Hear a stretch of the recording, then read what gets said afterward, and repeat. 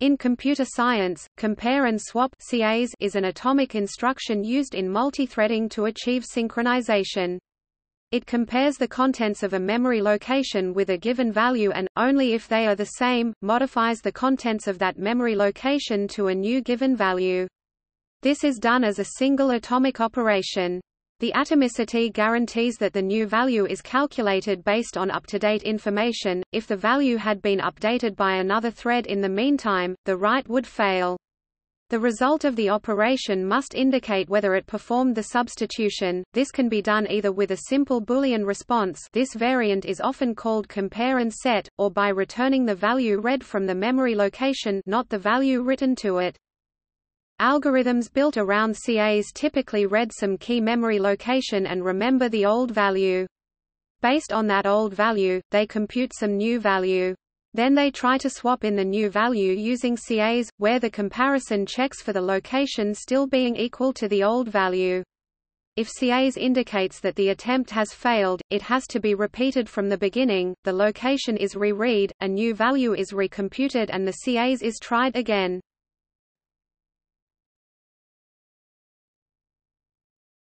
Topic. Overview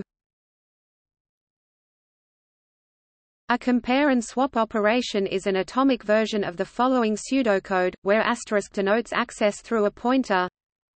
Function CAS p pointer to int old int new int returns bool. If asterisk p does not equal old, return false. Asterisk p new, return true. This operation is used to implement synchronization primitives like semaphores and mutexes, as well as more sophisticated lock-free and wait-free algorithms. Maurice Herlihy proved that CAS can implement more of these algorithms than atomic read, write, or fetch and add, and assuming a fairly large amount of memory, that it can implement all of them. CAS is equivalent to load link, store conditional, in the sense that a constant number of invocations of either primitive can be used to implement the other one in a wait-free manner. Algorithms built around CAS typically read some key memory location and remember the old value. Based on that old value, they compute some new value.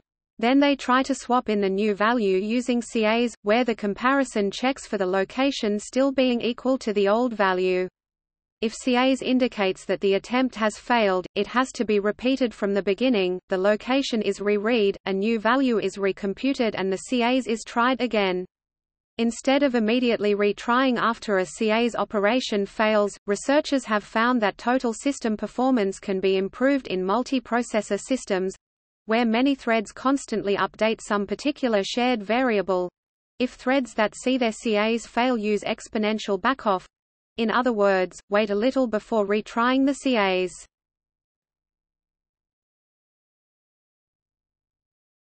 Topic: Example application: Atomic adder. As an example use case of compare and swap, here is an algorithm for atomically incrementing or decrementing an integer.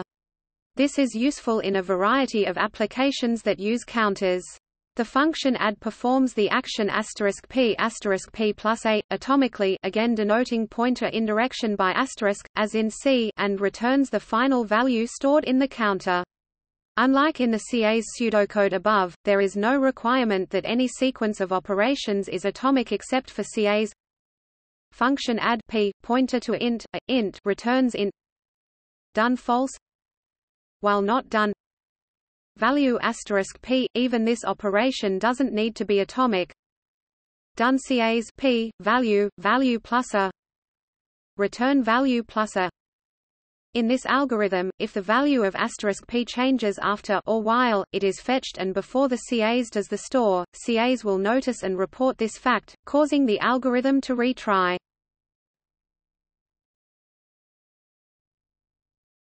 Topic: ABA problem. Some CAS-based algorithms are affected by and must handle the problem of a false positive match, or the ABA problem. It is possible that between the time the old value is read and the time CAS is attempted, some other processes or threads change the memory location two or more times such that it acquires a bit pattern which matches the old value.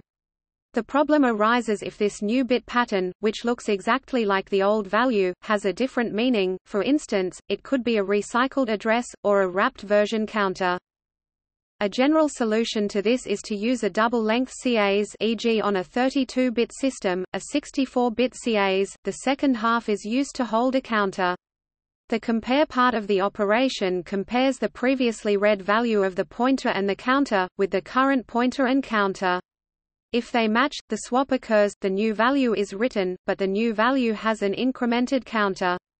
This means that if ABA has occurred, although the pointer value will be the same, the counter is exceedingly unlikely to be the same for a 32-bit value, a multiple of 232 operations would have to have occurred, causing the counter to wrap and at that moment, the pointer value would have to also by chance be the same.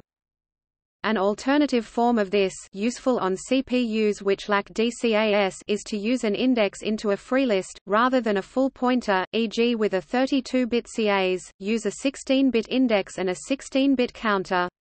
However, the reduced counter lengths begin to make ABA, especially at modern CPU speeds, likely.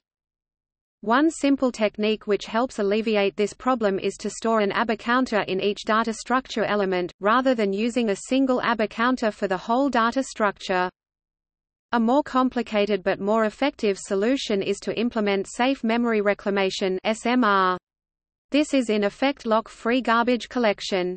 The advantage of using SMR is the assurance a given pointer will exist only once at any one time in the data structure, thus the ABA problem is completely solved.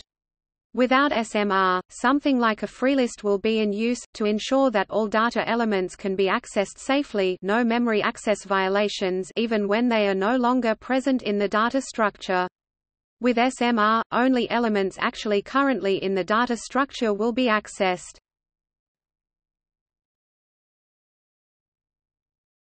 Topic: Costs and benefits. CAS, and other atomic instructions, are sometimes thought to be unnecessary in uniprocessor systems, because the atomicity of any sequence of instructions can be achieved by disabling interrupts while executing it.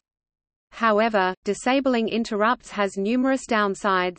For example, code that is allowed to do so must be trusted not to be malicious and monopolize the CPU, as well as to be correct and not accidentally hang the machine in an infinite loop or page fault.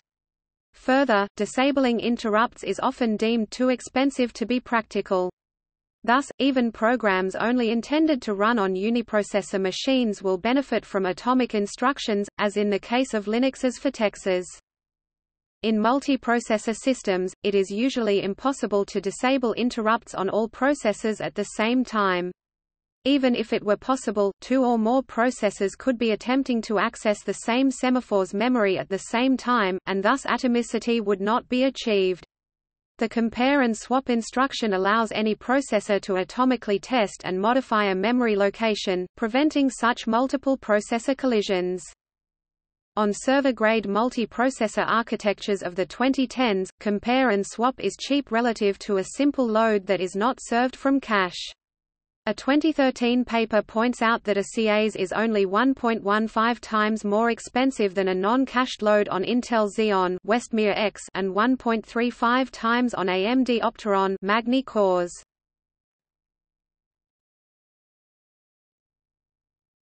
Topic: Implementations Compare and swap and compare and swap double has been an integral part of the IBM 370 and all successor architectures since 1970. The operating systems that run on these architectures make extensive use of this instruction to facilitate process i.e., system and user tasks and processor i.e., central processors parallelism while eliminating, to the greatest degree possible, the disabled spin locks, which had been employed in earlier IBM operating systems. Similarly, the use of test and set was also eliminated. In these operating systems, new units of work may be instantiated globally into the Global Service Priority List, or locally into the Local Service Priority List, by the execution of a single compare and swap instruction. This substantially improved the responsiveness of these operating systems. In the x86 since 80486 and Itanium architectures this is implemented as the compare and exchange CMP instruction on a multiprocessor the lock prefix must be used. As of 2013, most multiprocessor architectures support CAS in hardware, and the compare and swap operation is the most popular synchronization primitive for implementing both lock-based and non-blocking concurrent data structures. The atomic counter and atomic bitmask operations in the Linux kernel typically use a compare and swap instruction in their implementation. The SPARC 32 and PA RISC architectures are two of the very few recent architectures that do not support CAS in hardware. The Linux port to these architectures uses a spin lock. Topic implementation In C Many C compilers support using compare and swap either with the C11 functions, or some non-standard C extension of that particular C compiler, or by calling a function written directly in assembly language using the compare and swap instruction.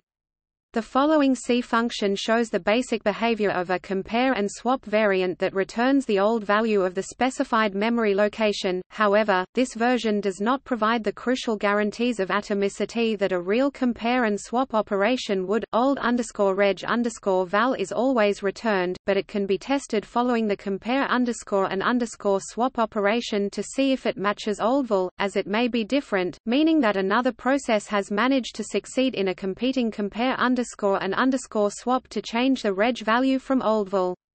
For example, an election protocol can be implemented such that every process checks the result of compare underscore and underscore swap against its own PID equals newval.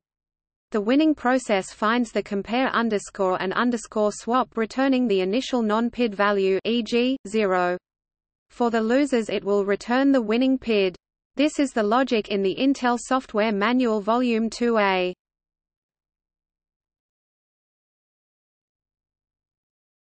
Topic: Extensions. Since CAS operates on a single pointer-sized memory location, while most lock-free and wait-free algorithms need to modify multiple locations, several extensions have been implemented. Double compare and swap DCAS compares two unrelated memory locations with two expected values, and if they're equal, sets both locations to new values. The generalization of DCAS to multiple non-adjacent words is called MCAS or CASN. DCAS and MCAS are of practical interest in the convenient concurrent implementation of some data structures like dequeues or binary search trees. DCAS and MCAS may be implemented however using the more expressive hardware transactional memory present in some recent processors such as IBM POWER8 or in Intel processors supporting transactional synchronization extensions TSX. Double-wide compare and swap operates on two adjacent pointer-sized locations or, equivalently, one location twice as big as a pointer.